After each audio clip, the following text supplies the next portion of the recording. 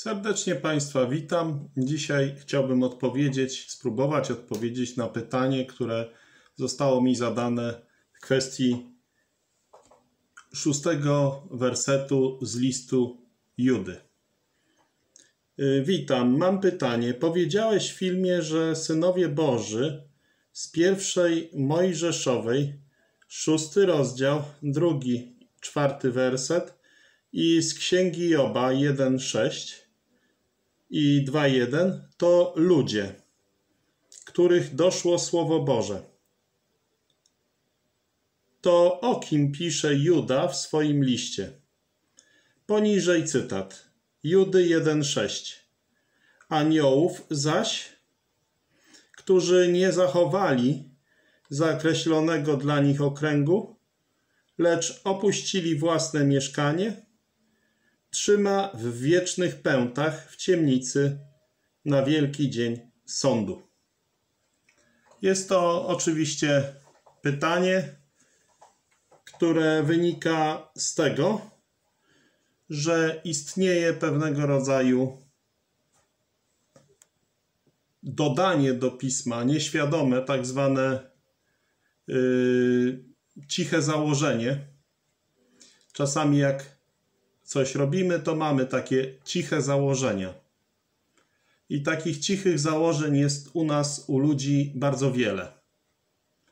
I przy studiowaniu Pisma Świętego te ciche założenia są bardzo niebezpieczne i szkodliwe.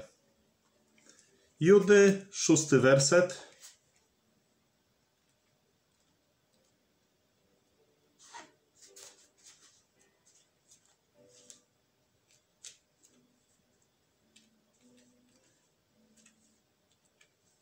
Jak widzimy, ma taką informację aniołów, którzy nie zachowali pierwotnego stanu swego, pierwotnego stanu swego, ale opuścili mieszkanie swoje, zachował w wiecznych więzach pod ciemnością na sąd dnia wielkiego.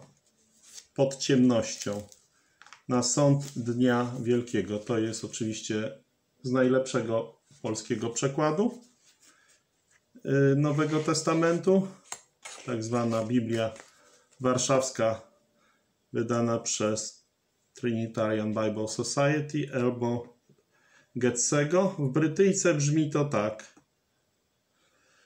Aniołów zaś, którzy nie zachowali zakreślonego dla nich okręgu, lecz opuścili własne mieszkanie, trzyma w wiecznych pętach w ciemnicy na wielki dzień sądu. Też wezmę z dosłownego przekładu pisma, wydanego przez Zarębę Piotra.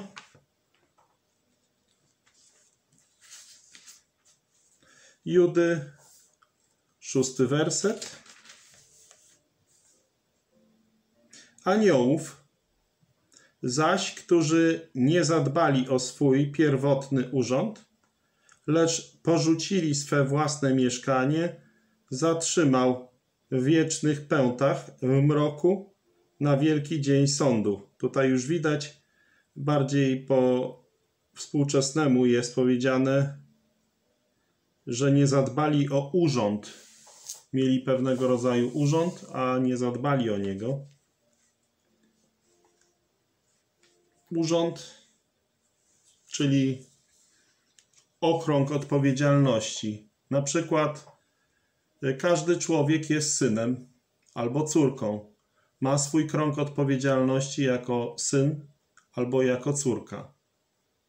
Y, po pewnym czasie staje się być może pracownikiem. To wtedy ma swój okrąg odpowiedzialności jako pracownik.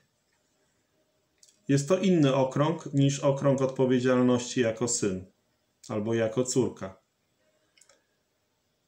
Czasem się zdarza, że niektórzy zawierają małżeństwa i wtedy mężczyzna staje się yy, mężem i ma swój okrąg odpowiedzialności jako mąż, a kobieta staje się żoną i ma swój okrąg odpowiedzialności jako żona.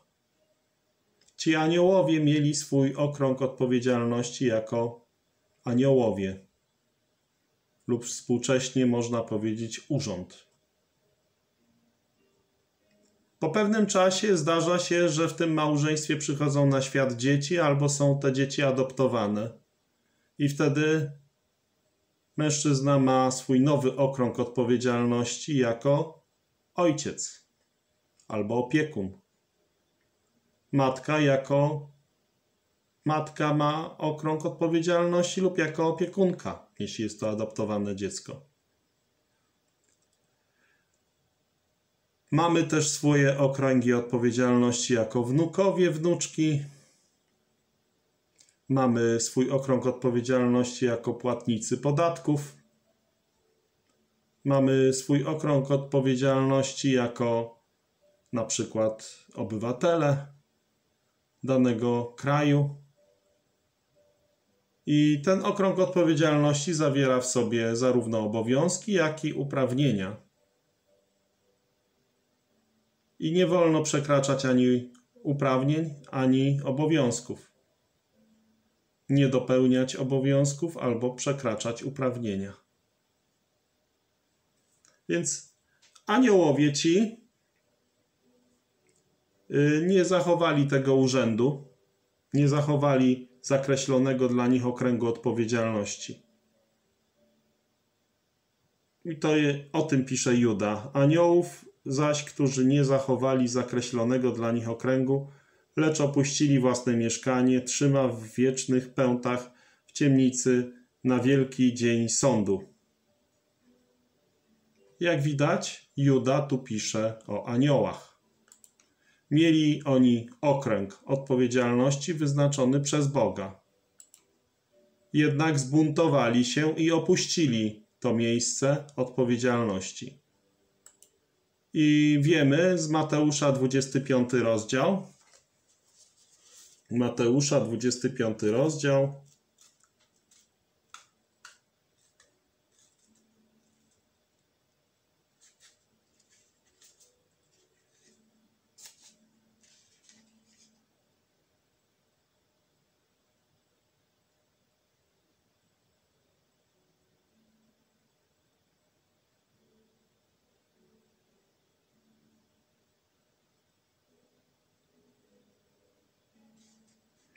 I pójdą ci na mękę wieczną, ale sprawiedliwi do żywota wiecznego.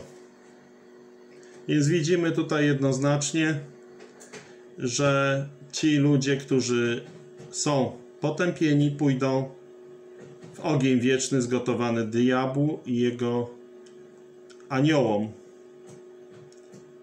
I to są wyraźne słowa Pana Jezusa, i nie da się tego w żaden sposób uchylić. I tutaj jest jednoznaczne, że należy unikać tego, aby pójść w ogień wieczny zgotowany diabłu i jego aniołom.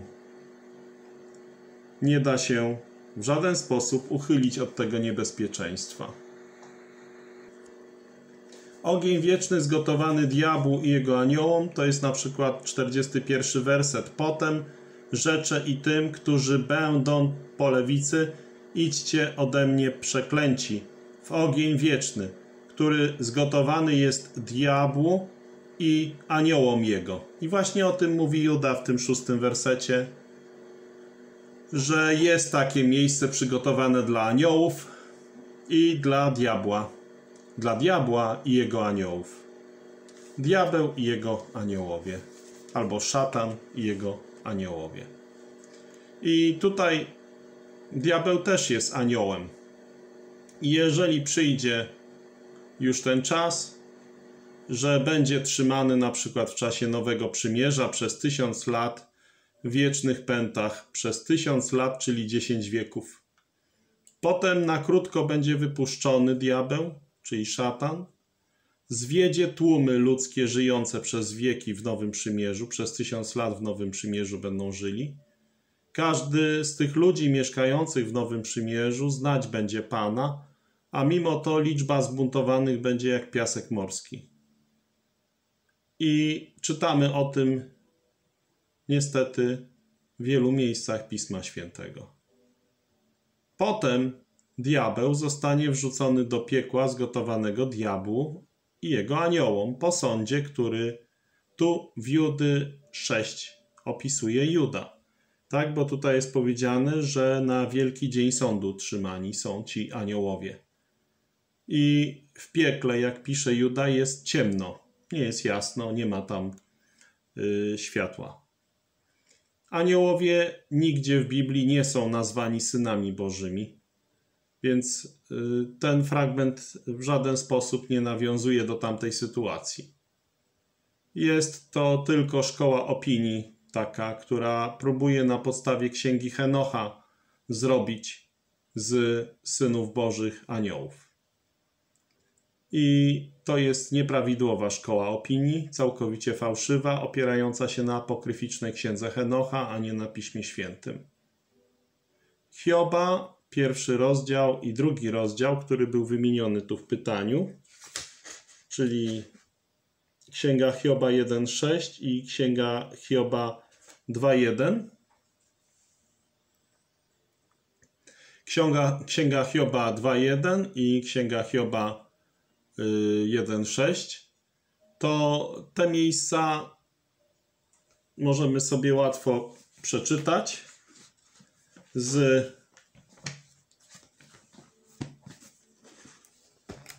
Księgi Hioba 1.6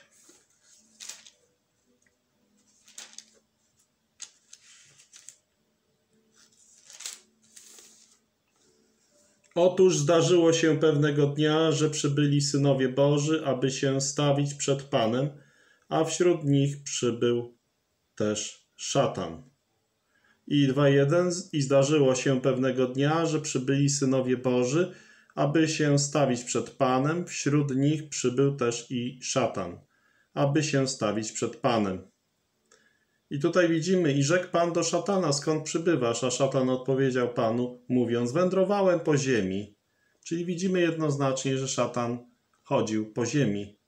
Nie ma tutaj żadnej wskazówki, że szatan nagle miał przystęp do nieba. To jest yy, no, założenie wszyte, tak?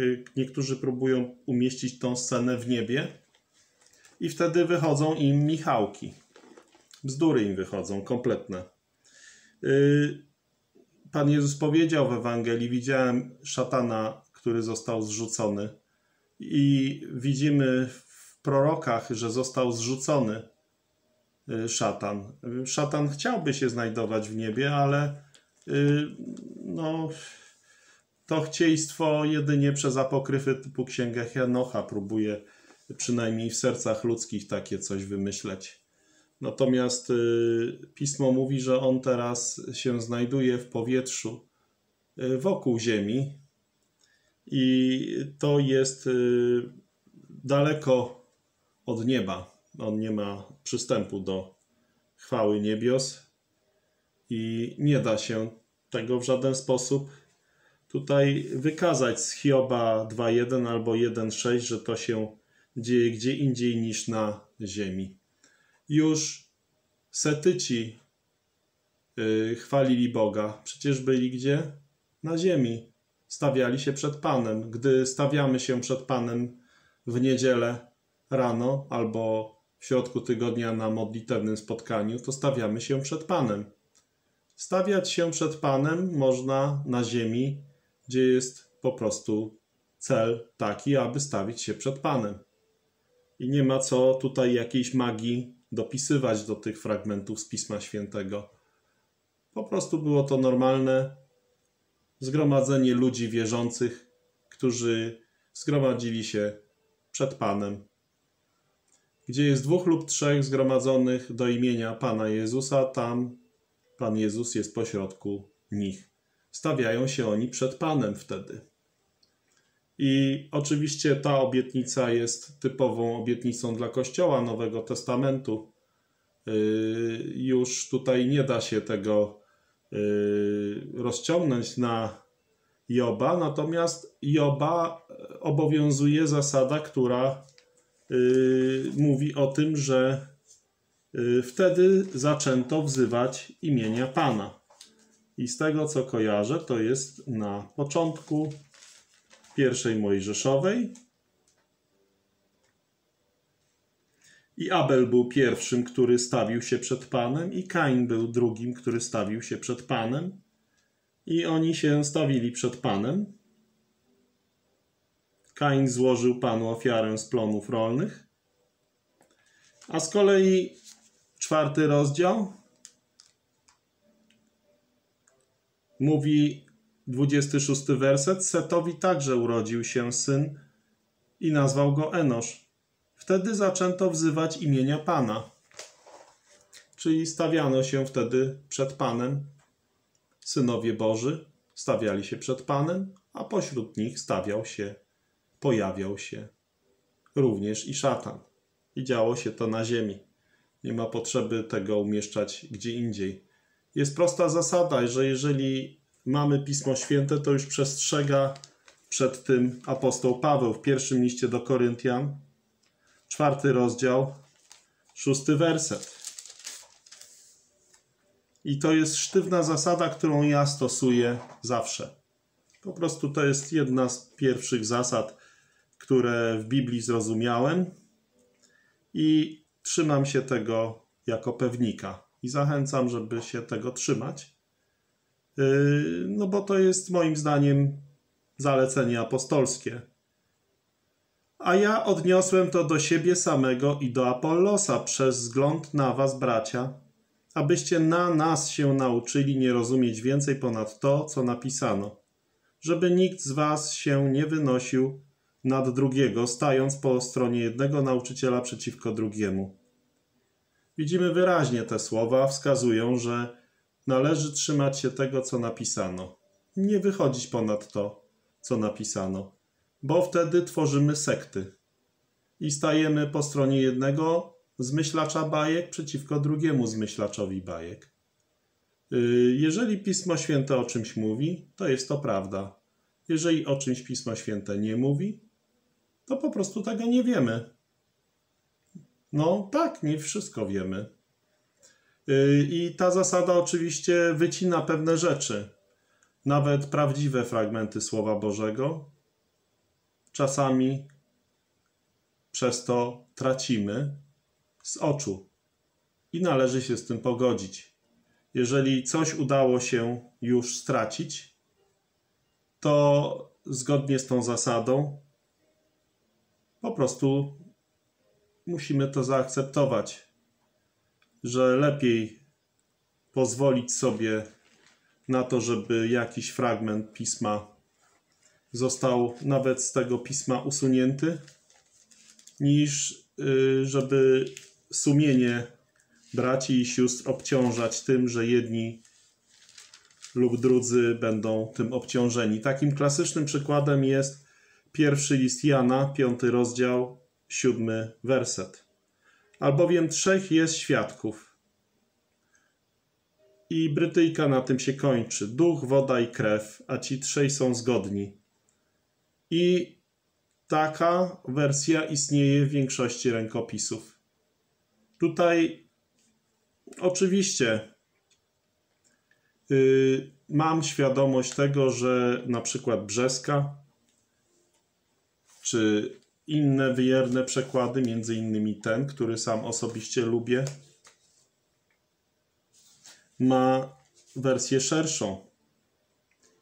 Yy, piąty rozdział, siódmy werset. Albowiem trzej są, którzy świadczą na niebie Ojciec, Słowo i Duch Święty, a ci trzej jedno są. I tak Brzmi to w brzeskiej, gdańskiej czy właśnie warszawskiej według Trinitarian Bible Society i prawdopodobnie tak jest, że ta szersza wersja jest prawidłowa. Ale niestety w większości rękopisów udało się po prostu ukraść te słowa i nie mamy wystarczającego poparcia na to, żeby się upierać przy tym, żeby ten fragment był w Bibliach, które chcą uważać, że bazują na największej liczbie rękopisów. Przez to powstają właśnie takie straty. Natomiast jeśli chodzi o nauczanie dotyczące aniołów, tu takiej straty nie ma. Mało tego, to, że tego fragmentu z pierwszego listu Jana 5, 7, 8 nie ma, też nie ma żadnej yy, doktrynalnej straty. Dlatego, że jeżeli popatrzymy na ten fragment, to wiemy, że jego y, łatwo jest zastąpić, gdyż doktryny, które są w tym fragmencie 1 Jana 5:7 są w wielu miejscach pisma potwierdzone. I choć wiemy, że ten fragment lepiej, żeby jednak w piśmie był, to jego autentyczność jest za słabo potwierdzona, aby jednak był w tych fragmentach, które są tłumaczeniami z wielu rękopisów. Bo oczywiście ten jest z jednej grupy rękopisów i w tym musi być ten fragment. Tak zwane po prostu textus receptus i wtedy tych rękopisów się trzyma ten fragment. Jest on historycznie też wsparty wersją wulgaty, łacińską wersją, czyli rzymskokatolicką. I to też już powoduje pewnego rodzaju trudności, choć oczywiście nie powoduje trudności rozstrzygających, dlatego że pamiętamy, że Dawid zabił kamieniem Goliata, wyjął Goliatowi miecz i tym mieczem uciął mu głowę. To, że katolicy dostali do przechowania część rękopisów, nie znaczy, że one są jakoś zanieczyszczone. W Starym Testamencie mieliśmy wyraźnie powiedziane, że jeżeli nieczyste zwierzę wpadnie na przykład do jakiegoś naczynia, to to naczynie trzeba stłuc i ono jest bezużyteczne. Ale jeżeli nieczyste wpadło do źródła wody albo do studni, co symbolizuje Słowo Boże, to ta studnia lub y, po prostu strumień nie był zanieczyszczony. Tak samo jest ze Słowem Bożym, które przechowali czy prawosławni, czy rzymscy katolicy, czy wręcz inni zaprzańcy, bo tak naprawdę to te wszystkie rękopisy dla nas zostały przechowane przez ludzi, o których można by powiedzieć z grubsza, że tam wierzącego raczej zbyt, wie, zbyt wielu wierzących się tam nie da doliczyć. Pan zna tych, którzy są Jego, więc nie chcę mówić, że tam nie ma wcale wierzących. Być może jest więcej niż myślę, bo Eliasz też mówił, że jest sam, a Pan mu powiedział, że zachował sobie siedem tysięcy mężów, którzy nie zgięli kolan przed balem, więc może być tak, że tam jest znacznie więcej niż mi się wydaje i że całkowicie moje wrażenie jest w tym zakresie błędne. Dlatego Potraktujmy, że to jest tylko moje podejrzenie. Wracamy do głównego tematu, czyli Hioba 1 i 2 to są ludzie. Nawet znany kaznodzieja Charles Spurgeon yy, miał takie kazanie Szatan pośród synów bożych i on jednoznacznie umieszcza całą sytuację na ziemi, więc widać, że klasyczni komentatorzy, wśród nich właśnie Charles Spurgeon, stosując tą zasadę, aby nie rozumieć więcej niż napisano, nie mogli tutaj nic więcej zrobić, jak po prostu przyjąć, że jest tak, jak jest napisane. Nie ma potrzeby wymyślać dodatkowych elementów urozmaicających tekst, bo wtedy narażamy się po prostu na to, że wprowadzimy jakiś element, który nas całkowicie wyprowadzi w pole. Nie należy takich ryzyk szerzyć, mnożyć, dodawać sobie. Bo i tak pracujemy w warunkach obciążenia. Już sam fakt, że nie bazujemy na językach oryginalnych, bo ich nie znamy.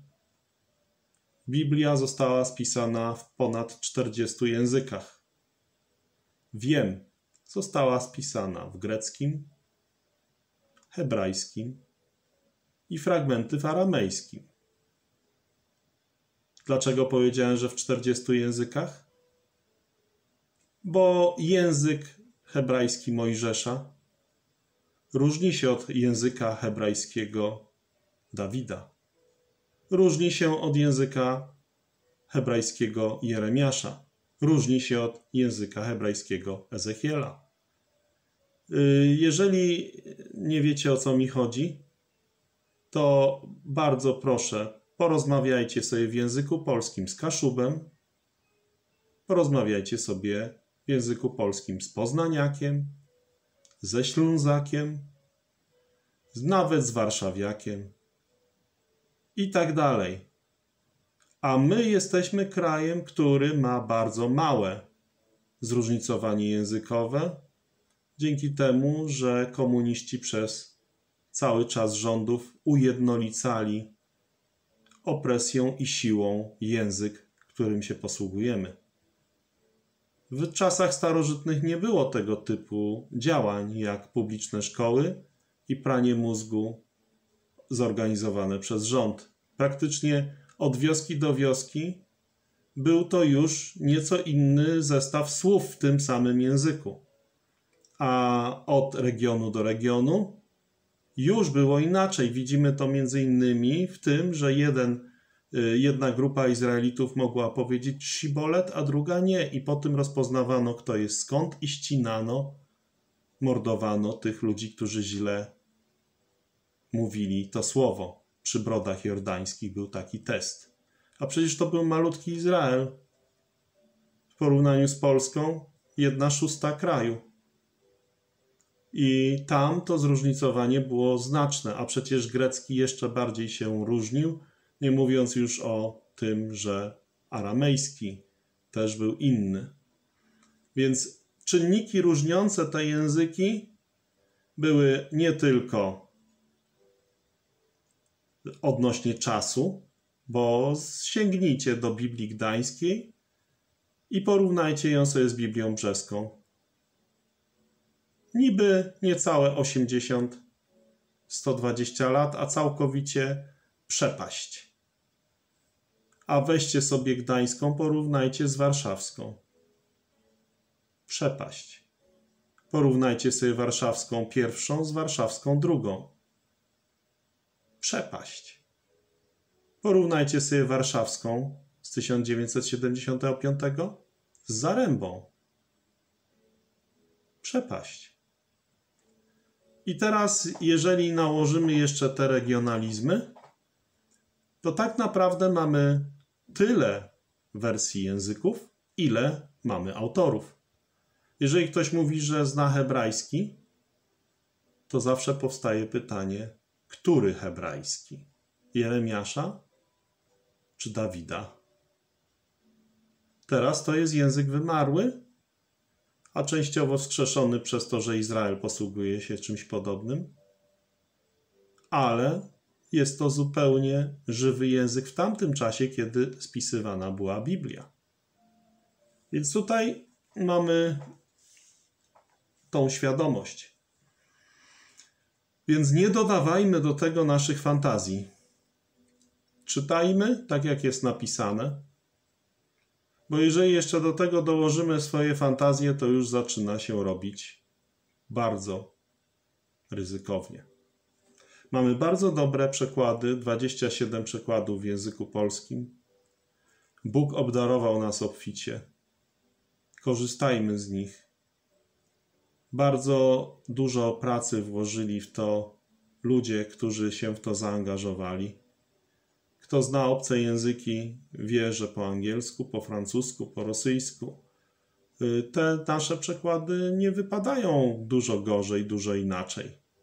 Po prostu albo jest to tłumaczenie z jednego zestawu manuskryptów, albo korzysta z szerszej bazy manuskryptów, i to są tylko tego typu różnice. Natomiast nie ma powodów, żeby zakładać, że Słowo Boże jakoś jest źle przełożone. Mało tego, jeżeli weźmiemy sobie Księgę Estery, tam mamy taką sytuację, że król Ahasferusz, panujący nad 120 prowincjami, wydał rozkaz. I ten rozkaz został wydany przez króla i natychmiast przetłumaczony na wszystkie języki w tych 120 prowincjach. I teraz wyobraźcie sobie, że gość z jakiejś z tych prowincji mówi: No zaraz, ale to jest tylko tłumaczenie, to co ja dostałem, to nie jest oryginał. Nie będę słuchał tego tłumaczenia. Niestety zostałby ścięty. Tak samo jest z tobą. Masz polski przekład. Masz polską Biblię. Bóg rozliczy cię z polskiego przekładu, z polskiej Biblii. Po to pobudził w różne sposoby ludzi, którzy przełożyli te pisma, żeby taki gość jak ty nie miał wymówki. Będziesz rozliczony z przekładu. I nie ma powodu do tego, żeby kwestionować ten przekład, chyba że sam się nauczysz języków oryginalnych, 40 języków oryginalnych, których były, nau- były napisane słowa Biblii. I wtedy, oczywiście, jako jeden z tłumaczy, przetłumacz cały tekst Pisma Świętego. Powodzenia! Wtedy będziesz autorytetem. A jeśli nie, to bezpieczniej jest po prostu się trzymać. I jest to bardzo, bardzo, bardzo ryzykowne bawienie się w wyciąganie zbyt daleko idących wniosków z tego, że jakiś tekst ma swoje słowo hebrajskie i ja teraz z tego słowa hebrajskiego wyciągam zbyt daleko idące wnioski. To może być pomocne, ale nie jest rozstrzygające. Dlatego, że często kontekst zmienia znaczenie. Może dam polski przykład. Biorę, załóżmy, że ktoś napisał jakieś pismo i ty znajdujesz po latach, nie znając polskiego, ale masz coś w rodzaju słownika i znajdujesz, że Jaś Kowalski usiadł sobie na krześle. Wyciągamy prosty wniosek, prawda? Było mu wygodnie. Ale jedno słowo więcej tam jest. Elektrycznym. Było mu tak wygodnie, że się aż poczuł jak w niebie, jeśli był zbawiony. Więc tutaj tak samo jest z tymi słowami, które mamy w oryginale. I dlatego dziękujmy Bogu za przekłady, które istnieją, bo ci ludzie, którzy wykonali kawał dobrej roboty, tłumacząc to dla nas na język polski, ujęli te wszystkie aspekty i nie musimy teraz brać słówek odpowiadających krzesłu i wyciągać zbyt daleko idących wniosków, nie rozumiejąc tego, że ten mały robaczek kawałek dalej znaczy coś tak zmieniającego sens jak elektryczny. Jest różnica między krzesłem a krzesłem elektrycznym. I teraz, jeżeli patrzymy na te teksty, należy yy, patrzeć na kontekst. I jeżeli synowie Boży w Piśmie Świętym są zdefiniowani jako ludzie, i ani razu Syn Boży nie jest powiązany z byciem aniołem, a nawet są fragmenty, które jednoznacznie wykluczają tożsamość synów Bożych z aniołami, to nie wolno robić tego typu rzeczy, żeby teraz sobie wpisywać swoją fantazję. No więc to zamierzam wykazać. Więc Jednoznacznie Spurgeon, o którym wspomniałem, umieszcza sytuację na ziemi i robi to właśnie dlatego, że Słowo Boże tam nie pozwala umieścić tej sytuacji w niebie, chyba że dopiszemy sobie coś do tekstu z tyłu głowy, interpretacji. Tak zwane ciche założenie. Moda, aby z synów bożych robić aniołów, przyszła wraz z adwentyzmem, niestety.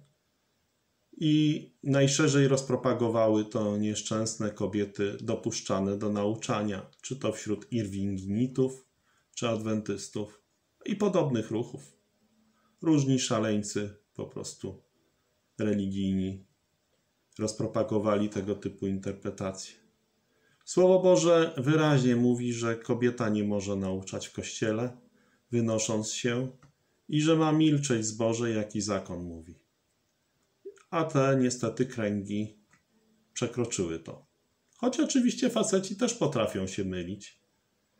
Akurat historycznie tutaj przyszły te dwa zwiedzenia.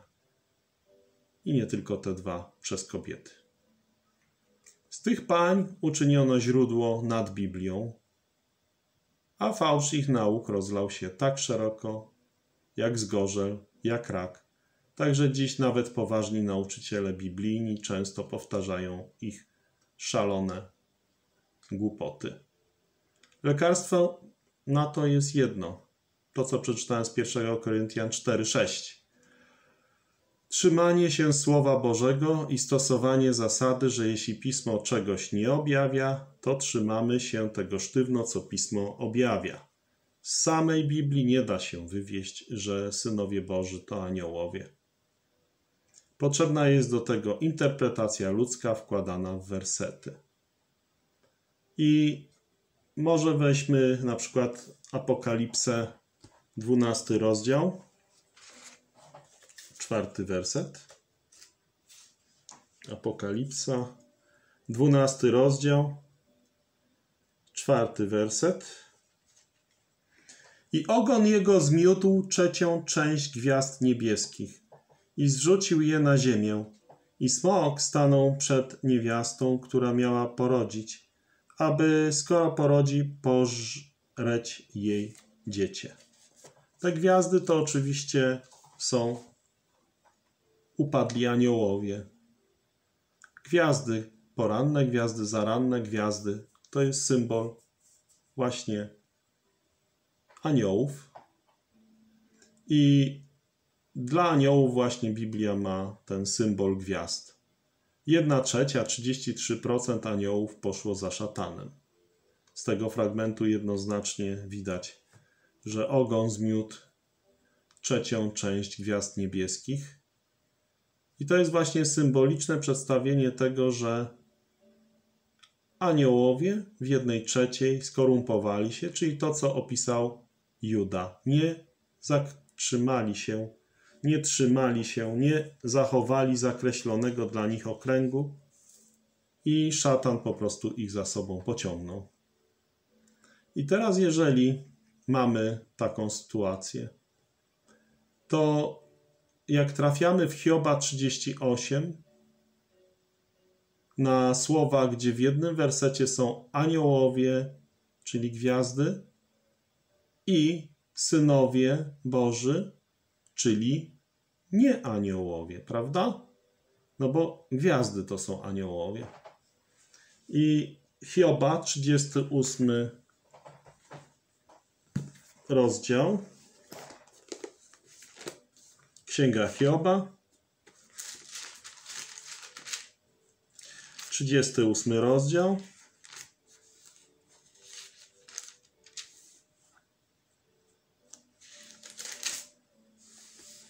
Trzydziesty ósmy rozdział Hioba, siódmy werset. Gdy gwiazdy poranne chórem radośnie się odezwały i okrzyk wydali wszyscy synowie Boży. Więc widzimy, synowie Boży to nie są aniołowie. Z tej samej księgi widzieliśmy, że to byli ludzie, którzy stawiali się przed Panem. Na pewno nie są to aniołowie, bo gwiazdy to są aniołowie w tym symbolu. I tak pismo nazywa. I trzeba przyjąć, że pismo jest spójne. A więc skoro gwiazdy to aniołowie, to synowie Boży to nie aniołowie. I teraz, jeżeli przechodzimy do tego fragmentu, który było w pytaniu, czyli 1 Mojżeszowa 6:2 i 6:4, to ten fragment, 1 Mojżeszowa, szósty rozdział, drugi werset. Ujrzeli synowie Boży, że córki ludzkie były piękne, Wzięli więc sobie za żony te wszystkie, które sobie upatrzyli. A w owych czasach, również i potem, gdy synowie Boży obcowali z córkami ludzkimi, byli na ziemi olbrzymi, których im one rodziły. To są mocarze, którzy z dawien dawna byli sławni. Więc jednoznacznie widzimy kontekstowo, że są to ludzie. Ludzie tacy jak ja, taki jak ty, tacy jak każdy inny człowiek, z tym, że synowie Boży są to ci ludzie, których doszło Słowo Boże, albo tym, którzy przyjęli Słowo Boże. Więc nie ma co tutaj robić z nich aniołów, bo to generalnie jest nieuprawniony wniosek. Więc aniołowie, też wiemy z pisma, są bezpłciowi. Nie mają możliwości po prostu rozmnażania się. I mamy o tym wyraźnie powiedziane przez Pana Jezusa. Więc tutaj trzeba trzymać się tego, co mówił Pan Jezus. Łukasza 20:36. Łukasza 20:36